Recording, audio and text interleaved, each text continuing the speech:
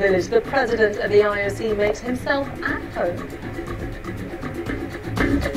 home.